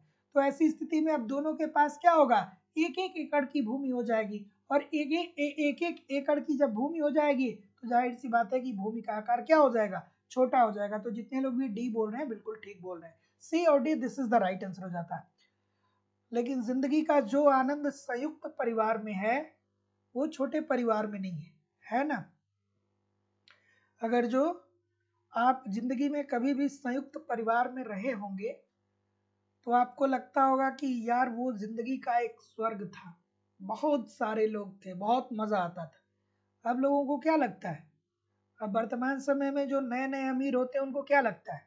उनको लगता है दो रुपए कमा लिए। बच्चे को पढ़ाने के लिए एक बहाना मिल गया। शहर में लेकर के चले जाएँगे। माँ बाप को घर छोड़ देंगे और जितने लोग हैं सबको घर छोड़ देंगे। तो आजकल के नए नए शिक्षित व्यक्ति यही तो कर रहे हैं ना। लेकिन क्या है? इसीलिए क्या हो रहा है? लोग डिप, डिप्रेशन में जा रहे हैं। इसीलिए लोग क्या हो रहा है? जब अकेले रह रहे हैं तो डिप्रेशन में जा रहे हैं। इसीलिए कोई समस्या आने पर कोई साथ देने वाला नहीं है। पचास तरीके की उन्हें पॉलिसी लेनी पड़ रही है। कहीं हेल्थ इंश्योरेंस हो गया, कहीं एसआईपी हो गया, कहीं भविष्य के लिए वो कुछ कर रहे हैं। जीवन में परेशान। संयुक्त परिवार में है किसी भी चीज़ की आपको ज़रूरत नहीं है। वहाँ पे बहुत सारे लोग हैं जो आपका ख्याल रखेंगे। है ना? अगला प्रश्न। कि निम्नलिखित में से कौन सा कृषि जोत भारत में सर्वाधिक प्रतिशत में है? तो जितने भी महानुभाव बोल रहे हैं कि सर जी, सीमांत जोत सभी लोग का उत्तर यहाँ पे बिल्कुल ठीक है। सीमांत जोत का मतलब क्या होता है कि ऐसी भूमि जो एक हेक्टेयर से कम है। एक हेक्टेयर से, एक हेक्टेयर से क्या है? कम है। ऐसी सीमांत भूमि का मतलब क्या हो गया? ये हो गया कि ऐसी भूमि जो एक हेक्टेयर से कम है और भारत में सबसे ज़्यादा अगर जो भूमि जोत की बात करें तो ये सीमांत भूमि है, अर्थात जिसका लेंथ क्या है? एक हेक्टेयर से कम है। लघु जोत क्या होता है? लघु जोत का मतलब ऐसा भूमि का टुकड़ा जिसकी लंबाई एक हेक्टेयर से लेकर के दो हेक्टेयर के बीच में एक हेक्टेयर से लेकर के दो हेक्टेयर के बीच में है और बड़े जोत का मतलब क्या हो गया? बड़े जोत का मतलब क्या हो गया भाई? बड़े जोत का मतलब हो गया कि 10 हेक्टेयर से ज़्यादा 10 हेक्टेयर से ज़्यादा भूमि आपके पास है। और अर्ध अर्ध अर्ध मध्यम जोत की अगर जो बात करें तो चार हेक्टेयर से लेकर के दस हेक्टेयर के बीच में जो भूमि होगी। तो जितने लोग भी ये बोल रहे हैं, ठीक बोल रहे हैं। अगला, कृषि में विविधीकरण से आशय क्या है? बिल्कुल ठीक है। क्या उत्तर आ रहा है? कि कृषि के विविधीकरण से क्या से भाई? कृषि में विविधीकरण का मतलब क्या होता है? हम्म? हमने कहा ना कि जब भैया हरित क्रांति आया तो कृषि में विविधीकरण पे भी ध्यान दिया गया। अर्थात क्या किए गए? क्या किए गए?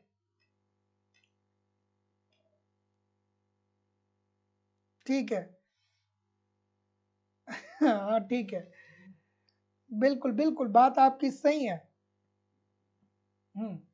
तो हाँ ठीक है, ये बात बिल्कुल सही है कि जो किसान प्रदर्शन कर रहे हैं, वो एक एक करोड़ की गाड़ी से चल रहे हैं, है ना?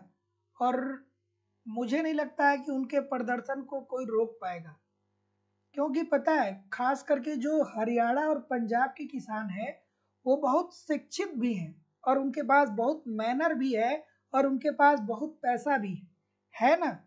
मैं देख रहा था एक न्यूज़ में कि बहुत सारे किसान जो उधर से आ रहे थे, वो लोग अपने साथ कोई ना कोई वस्तु भी लेके आ रहे थे। लाखों लाखों रुपए खर्च करके कोई किसान पानी लिया है, कोई किसान खाने का लिया है, वो कोई संगठन नहीं है। वो मतलब संगठन के द्वारा जो चीज़ें होती होंगी होती होंगी। लेकिन बहुत सारे किसान वो इतने समृद्ध हैं भैया कि वो खुद से भी क्या कर रहे हैं? लाखों रुपए खर्च कर दे रहे हैं। क्यों? क्योंकि वो शिक्षित हैं, वो जानते हैं कि अगर जो प्रदर्शन को क्या करना है, सफल बनाना है तो लोगों की जो बुनियादी आवश्यकता है, रोटी वो क्या होनी चाहिए? पूरी होनी चाहिए। कम से कम लोगों को रोटी और पानी तो मिलनी चाहिए। उसकी सब वो व्यवस्था कर रहे हैं। पुलिस क्या कर रही है? ड्रोन चला रही है। वो क्या किए हैं? शिक्षित है भाई। शिक्षा उनके पास क्या कर रहे हैं? पतंग उड़ा करके ड्रोन को नीचे गिरा दे रहे हैं। है ना? पतंग उड़ा करके ड्रोन को नीचे गिरा दे रहे हैं। आँसू गैस पुलिस फेंक रही है। क्या कर रहे हैं? कि वो एक होता है ना, क्या बोलते हैं? कुछ ऐसा उपकरण वो लिए हैं जिससे वो ढक दे रहे हैं। तो वो शिक्षित हैं और उनके पास पैसा भी है। उन्हें मुझे नहीं लग रहा है कि सरकार को रोकना इतना आसान होगा। तो जितने लोग भी ऑप्शन नंबर क्या बोल रहे हैं? डी बोल रहे हैं, सभी लोग का उत्तर यहाँ पे बिल्कुल ठीक हो जाएगा। तो फ़सल फ़सल पैटर्न को कृषि फ़सल पैटर्न को उद्यान, कृषि तथा पुष्प कृषि फ़सलों के पक्ष में क्या कर देना बदल देना अगला प्रश्न। जैसे छात्रों का आंदोलन क्यों नहीं सफल होता है? मैं प्रयागराज में रहा हूँ और बहुत सारे आंदोलन का हिस्सा रहा हूँ। लेकिन छात्रों का आंदोलन इसलिए नहीं सफल होता है क्योंकि जहाँ बीस छात्र बैठे हैं, किसी एक को भूख लगी, वो कहा कि ठीक है, रूम पे जा रहे हैं, अभी यार तो जब एक को जाता हुआ दूसरा देखता है तो दूसरा भी भग जाता है, फिर तीसरा भी भग जाता है। क्योंकि भैया उसकी भूख ही नहीं प्रदर्शन करके खत्म हो पाती है। तो प्रदर्शन तभी तो करेगा जब उसकी भूख मिटेगी। है ना? तो स्टूडेंटों का प्रदर्शन इसीलिए क्या होता है? असफल हो जाता है। चलिए, अगला प्रश्न। हाँ अगला प्रश्न। कि अभिकथन दिया गया और कारण दिया गया। कि भारत में कृषि उत्पादकता काफ़ी कम है। क्या ये बात सही है? क्या ये बात सही है? और कोई? भारत में कृषि उत्पादकता काफ़ी कम है और भारत में जनसंख्या वृद्धि की दर उच्च है। चलिए कमेंट करके बताइए भाई। कमेंट करके बताइए।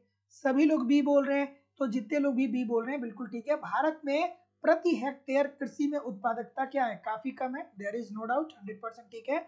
और भारत में जनसंख्या की वृद्धि दर भी उच्च है तो जनसंख्या वृद्धि से और कृषि में उत्पादकता से क्या लेना देना है? दोनों बात तो ठीक है, लेकिन एक दूसरे को ये डिस्क्राइब नहीं कर रहे हैं तो जितने लोग भी बी बोल रहे हैं, सभी लोग का उत्तर यहाँ पे बिल्कुल ठीक होने वाला है। अगला। निम्नलिखित में से किस अंतराल में कृषि संगणना की जाती है? बिल्कुल ठीक है। हम्म क्या उत्तर आ रहा भाई? बिल्कुल ठीक है।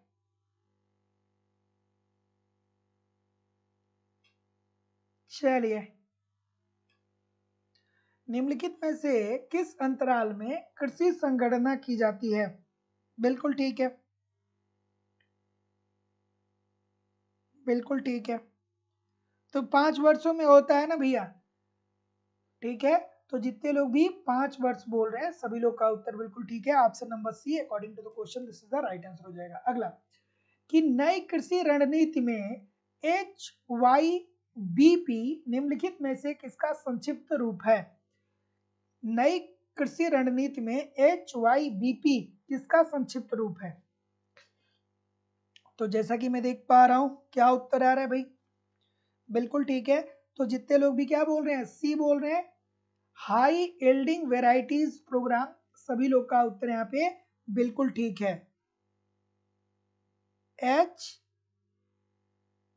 वाई पी पी ठीक है? बिल्कुल ठीक है, बिल्कुल ठीक है। तो जितने लोग भी क्या बोल रहे हैं? बिल्कुल ठीक है। तो जितने लोग भी ऑप्शन नंबर सी बोल रहे हैं, बिल्कुल ठीक है। और ये क्या करता है भैया?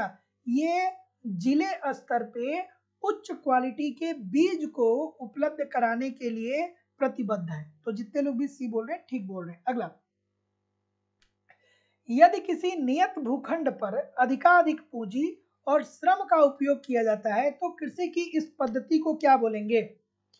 क्या बोलेंगे भाई?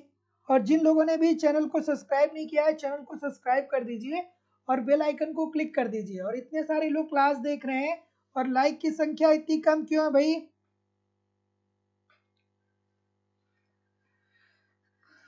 बिल्कुल ठीक है। सभी लोगों से निवेदन है कि वीडियो को लाइक और शेयर कर दीजिए। क्या उत्तर आएगा भाई? तो जैसा कि मैं देख पा रहा हूँ, ये बोल रहे हैं। बिल्कुल ठीक है। ये बोल रहे हैं सभी लोग, गहन खेती बोला जाता है इसे। बिल्कुल ठीक। ठीक तो जो गहन खेती होता है, इसके अंतर्गत क्या होता है कि भूखंड जो होते हैं, वो छोटे ही होते हैं।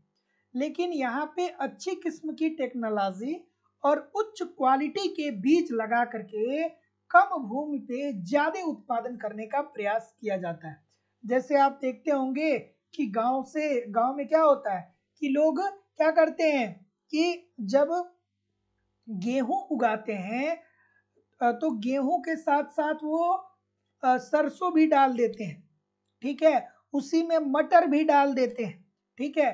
तो ये क्या हो गया कि एक फस ए, एक छोटे से भूमि पे वो अच्छी टेक्नोलॉजी और एक से ज़्यादा फ़सल को उगा रहे हैं। अच्छी टेक्नोलॉजी के द्वारा एक से ज़्यादा फ़सल उगा रहे हैं। तो जितने लोग भी ए बोल रहे हैं, ठीक बोल रहे हैं। अगला, कि न्यूनतम समर्थन कीमत के बारे में सही संयोजन ज्ञात करिए। न्यूनतम समर्थन कीमत कितने फ़सलों पे दी जाती है भैया? 22 फ़सलों पे दी जाती है। सॉरी 23 फ़सलों पे दी जाती है। गन्ना किसके अधीन आता है? मैंने आपसे पूछा कमेंट करके, आपने बताया नहीं। बिल्कुल ठीक है।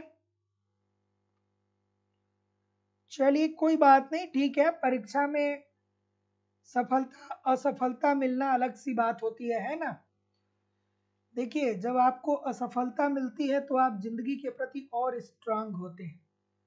और अगर जो आप सफलता के बहुत करीब पहुँचे हैं, और वहाँ पे किसी कारण बस कोई भी कारण हो सकता है, आपके फेवर में रिज़ल्ट नहीं रहा है तो आप ये सोचिए कि आप बिल्कुल सीढ़ी पे हैं, एक कदम और अभी आगे जाना है।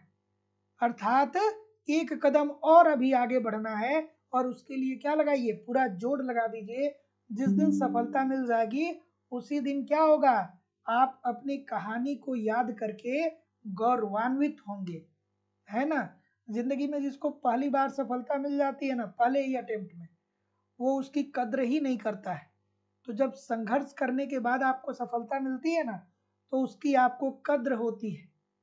है ना? और आप क्या होते हैं कि और अच्छा काम करते चले जाते हैं, और बढ़िया काम करते चले जाते हैं, और आप एक दिन उस ऊंचाई पे होते हैं, जहाँ पे पूरी दुनिया आपको देखती है।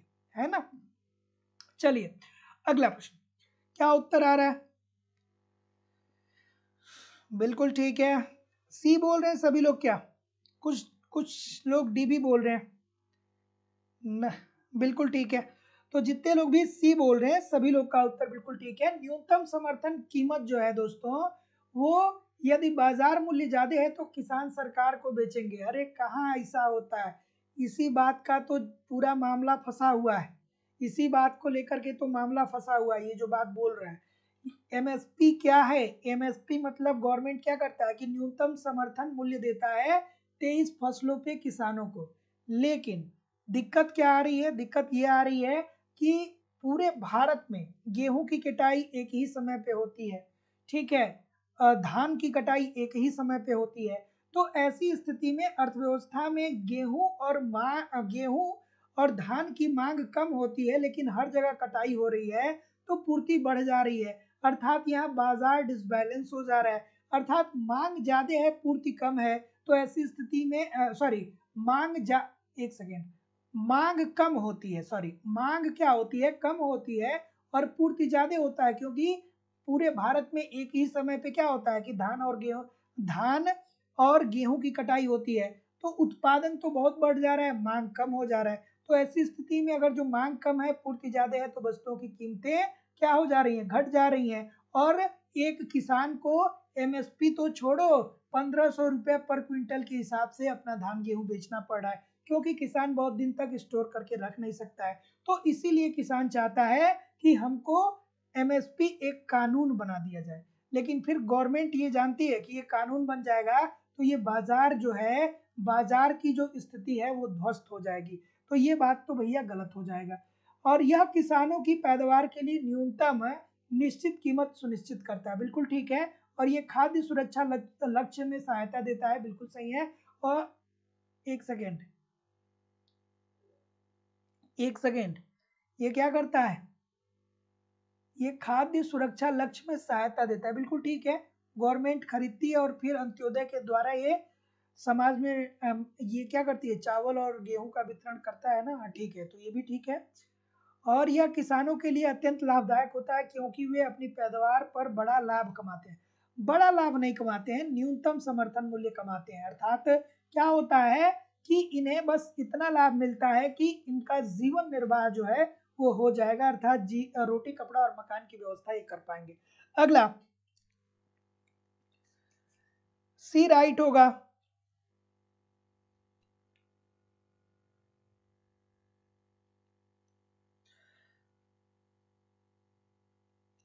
सी राइट होगा भाई। क्या उत्तर आ रहा है? बिल्कुल ठीक है। हरित खेत हरित खेत, खेती का मतलब क्या होगा?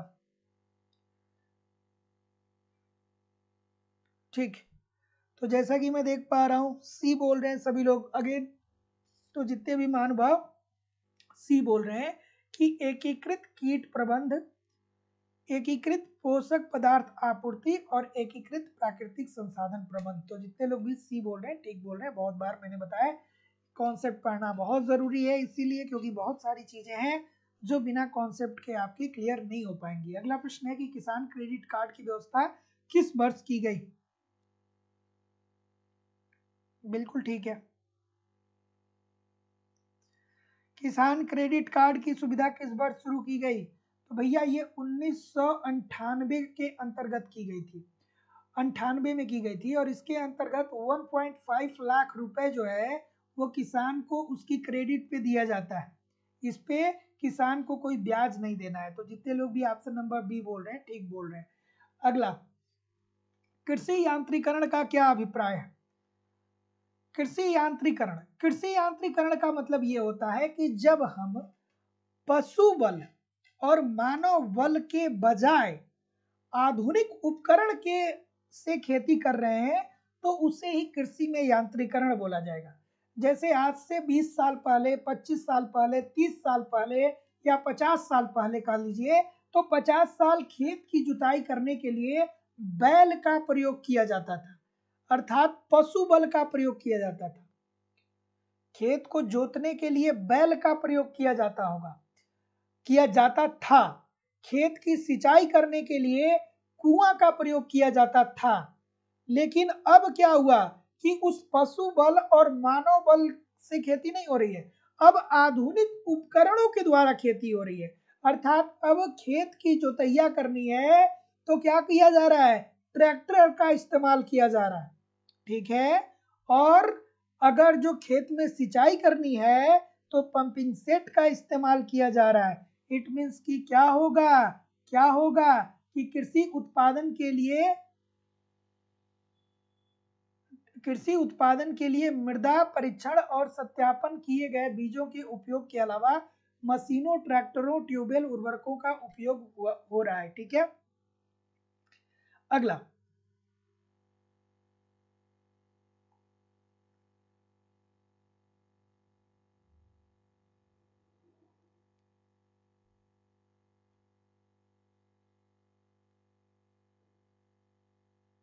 ठीक है? भारतीय कृषि उत्पादकता को कैसे बढ़ाया जा सकता है भैया? भारत में जो कृषि की उत्पादकता है, उसको हम कैसे बढ़ा सकते हैं? आज देखिए, आज स्टार्टिंग में राष्ट्रीय आय और फिर अंत में कृषि। इससे संबंधित मैक्सिमम प्रश्न आपके आज कवर हुए हैं। तो सेशन को फिर देख लीजिएगा जिन लोगों का भी छोटा हुआ है। कृषि में उत्पादकता कैसे बढ़ाएँगे भाई हम? तो बढ़ा हुआ लोक निवेश ठीक है? कृषि में निवेश करेंगे ठीक है? निवेश का मतलब क्या होगा? पैसा लगा कर करके पंपिंग सेट खरीदेंगे पैसा लगा के ट्रैक्टर खरीदेंगे ठीक है? खरीदेंगे कि नहीं खरीदेंगे? तो इससे उत्पादकता बढ़ेगा there is no doubt hundred percent ठीक है।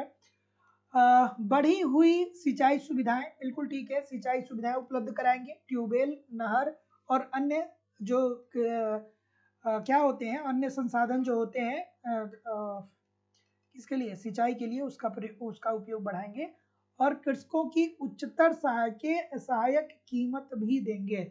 बिल्कुल ठीक है मतलब कृषकों को क्या करेंगे? अच्छा कीमत देंगे तो क्या करेगा? वो उत्पादन के लिए तत्पर रहेगा। और कर्मियों को उद्योग से कृषि की ओर भेज के नहीं भैया, कृषि में वैसे ही श्रम का अतिरिक्त पाया जाता है। यहाँ तो ऑलरेडी प्रचंड बेरोजगारी, छिपी हुई बेरोजगारी पाई जाती है। तो यहाँ पे क्यों हम कृषकों को उद्योगों से यहाँ पे ले आएँगे? नहीं लाएँगे। C sorry B. अगला।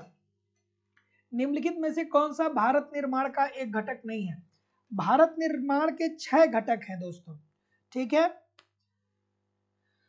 बिल्कुल ठीक है। और ग्रामीण क्षेत्रों में आधारभूत सुविधाओं के निर्माण एवं विकास हेतु उस टाइम 2006 2005 में उस टाइम कौन थे? प्रधानमंत्री मनमोहन सिंह जी जो थे उन्होंने भारत निर्माण की शुरुआत की और उसमें उन्होंने ग्रामीण आवास, सिंचाई क्षमता, सड़कें, विद्युतीकरण, पेयजल और ग्रामीण दूरसंचार, इन छह घटकों को शामिल किया।